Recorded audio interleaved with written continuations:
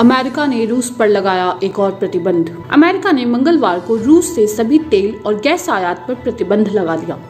राष्ट्रपति Joe Biden ने एक ट्विटर पोस्ट में यह बात कही।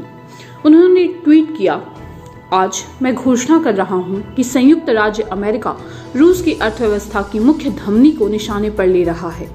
हम रूसी तेल और गैस के सभी आयातों पर प्रतिबंध लगा रहे हैं। रूस से आयात पर प्रतिबंध लगाने के कदम को युद्धग्रस्त यूक्रेन के समर्थन के रूप में देखा जा रहा है।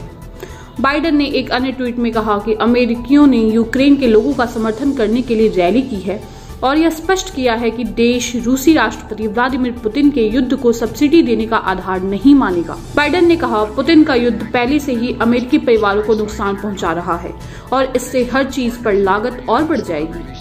इसलिए मैं अपने यहाँ पुतिन की बढ़ाई कीमतों को कम करने के लिए हर संभव कदम उठाऊँगा। अमेरिका पहले ही अपने और सहयोगियों के रणनीतिक पेट्रोलियम भंडार से 6 करोड़ बैरल तेल की सामूहिक रिहाई की घोषणा कर चुका है।